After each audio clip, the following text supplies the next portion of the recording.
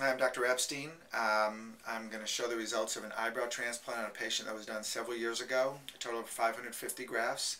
Uh, she did have very thin eyebrows and she's here today for a follow-up visit. Actually, we did another little procedure on her uh, to her scalp hair, but I want to show the results of how natural an eyebrow transplant can be.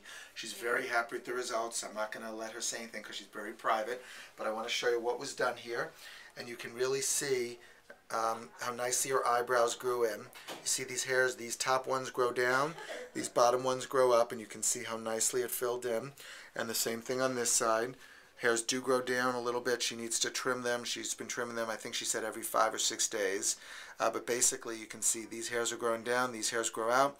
These hairs grow in a superior, like vertical direction, and she's very happy, and that's the results that we typically get with eyebrow transplants when they're done properly. Thank you. I'm Dr. Epstein.